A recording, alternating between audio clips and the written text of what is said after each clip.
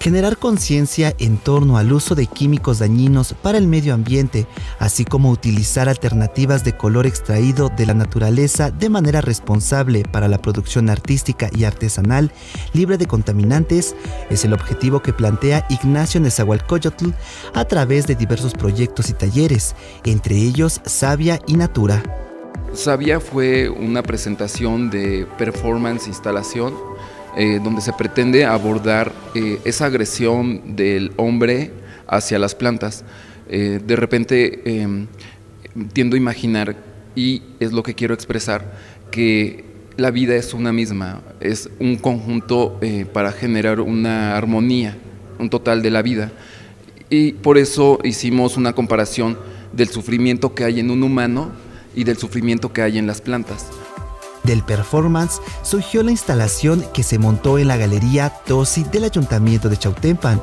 En estas actividades participaron Rosquiros Luna, Carla Melisa Carrillo Cuautle y Josué Aarón Netzahualcoyotl, estudiantes de artes visuales y como invitada de Francia Chloe Ublet, quien pertenece a la Asociación Canigua. Natura es una instalación con fibras eh, semiduras eh, fibras animales como lanas y lengua de vaca, Sansei y Vira.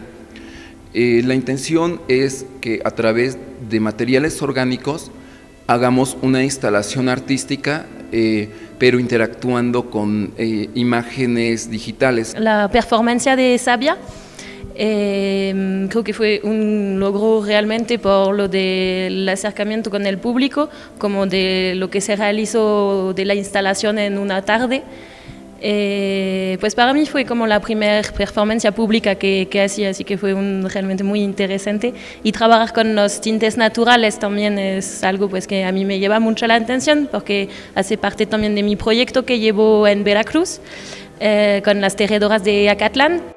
Estas actividades son un preámbulo al taller Naturaleza y Color, expresión a través de los tintes y pigmentos naturales, que impartirá Ignacio a partir del 8 de mayo en el Palacio de la Cultura ITC, con información de Edith López, ahora noticias.